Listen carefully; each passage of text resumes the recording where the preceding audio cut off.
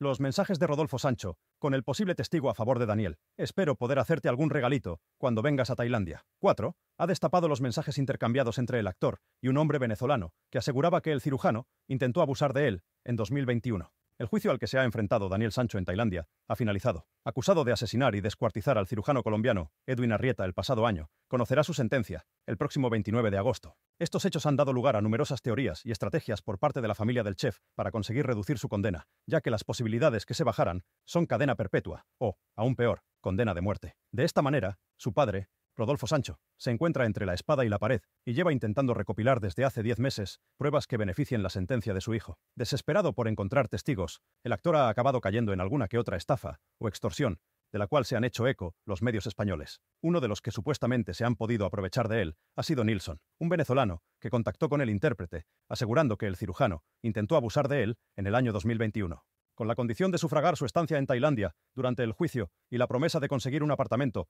de 9.000 dólares en su país natal, Sancho ha ido aportando un dinero a lo largo de las necesidades que le han ido surgiendo al venezolano. El programa Código 10 de 4 contactó con él para conocer su versión de la historia, a lo que él respondió con una serie de comprobantes bancarios aportados por los abogados de Rodolfo Sancho. Entre ellos se encontraban 850 euros por gastos de notaría, 600 euros para renovar el pasaporte y unos 2.000 euros en vuelos. El programa, en boca de todos, publicaba el pasado jueves en exclusiva a las palabras intercambiadas entre ambos. Lo más destacable de la situación es que Sancho había negado en varias ocasiones haber pagado a alguna persona para conseguir que declarase en el juicio. Jamás he buscado un testigo falso, jamás. Mis representantes legales hicieron transferencias porque era un testigo para la causa. Quiero dejar claro que es una falacia que yo haya podido comprar a nadie, ni a testigos, ni al juez, ni al fiscal. Quienes sugieren eso Mienten y ensucian mi imagen, indicó en unas declaraciones a El Mundo. Una defensa que acabó no acudiendo.